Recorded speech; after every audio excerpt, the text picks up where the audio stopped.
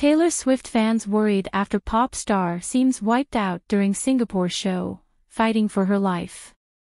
Swifties were left worried for Taylor Swift's well-being after the pop star had all the earmarks of being wiped out during her period's visit show in Singapore on Monday night.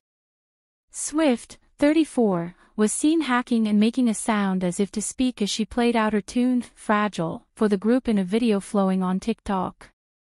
Hope she's alright FR, for real, one individual remarked on the viral clip, you can hear a raspy, sick, tone in her voice, she likewise appears to be more quiet and held in her developments, a subsequent individual noticed, adding, the show should go on, a queen. I can hardly comprehend how debilitating She's it should be going off about something that you said she does. She's unbelievable. Your A third individual I- ringed in. She looks so drained. I'm in my room. Trust she gets rest typical soon. Tuesday One more night. I'm listening to the kind She's really music buckling she down. does. She really wants rest. She is so staggeringly intense.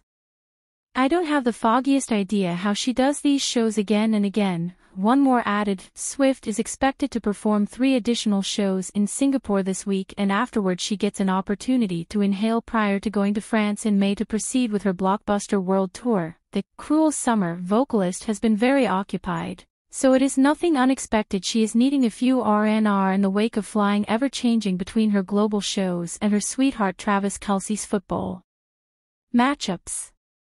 She even voyaged as far as possible from her Tokyo show to make it in time for Kelce's Kansas City Bosses game against the San Francisco 49ers in the 2024 Super Bowl last month. Following the Bosses' staggering triumph, Kelce and Swift shared a few kisses on the field prior to commending at a club with their families. The couple began dating the previous summer yet didn't affirm their sentiment until September.